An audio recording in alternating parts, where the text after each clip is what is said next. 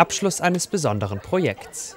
Drei Tage lang hatten die Asphalthelden auf dem Darmstädter Johannisplatz zu Straßentheater eingeladen und dazu, das Johannisviertel humoristisch neu zu entdecken. Wir haben hier drei Tage lang geprobt mit den Anwohnern auch zusammen, die hier am Johannisplatz wohnen. Wir haben äh, verschiedene Sachen ausprobiert. Wir haben den Platz praktisch okkupiert in Anspruch genommen. Wir haben ausgelotet, wie weit wir hier gehen können. Zum Abschluss gaben die Helden eine besondere Vorführung.